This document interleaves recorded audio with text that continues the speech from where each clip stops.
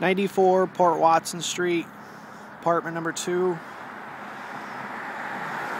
Large four family house, two bedrooms, all of them.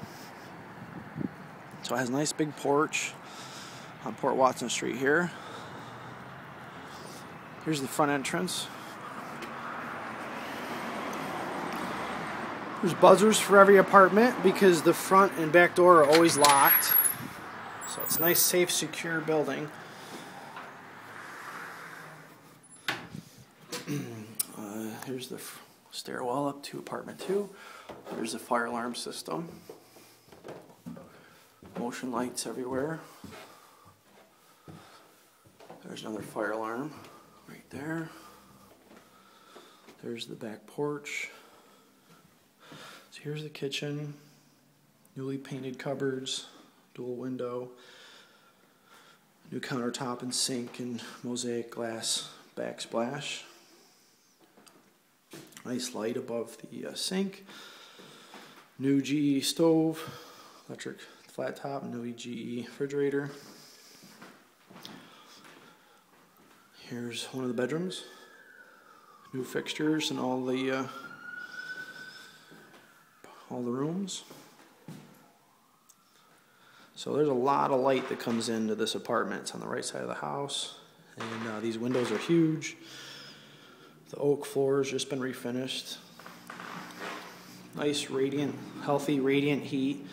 Uh, landlord pays for the heat and hot water, so uh, electric bill's the only bill you get, and it's about 15 to 30 bucks a month.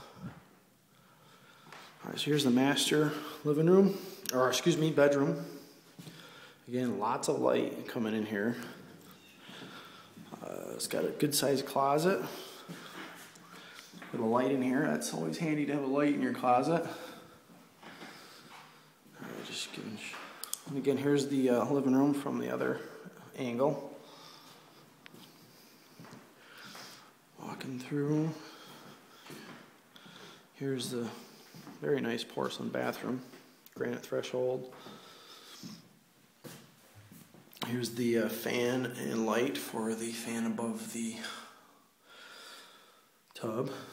Delta fixtures, you know, top line fixtures. We got a nice American Standard porcelain sink with American Standard faucet, a Kohler medicine cabinet, nice elongated high efficiency toilet.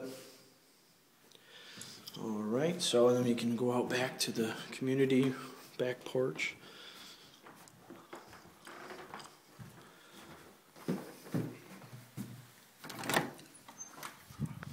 So here's a nice little place to eat breakfast or have a drink or, you know, just enjoy the view. Good place to have plants in the summertime out here, you know, it's geraniums and begonias, all the good stuff. Uh, quite a bit of room in the backyard back there. There's a barbecue pit and an apple tree. Uh, this apartment has the last bay in the garage. It's a private, secure bay, locks up. There's storage above the garage, and there's storage in the basement. This is the entrance to the back of the house. So that's about it. Let me know if you're interested. Thank you.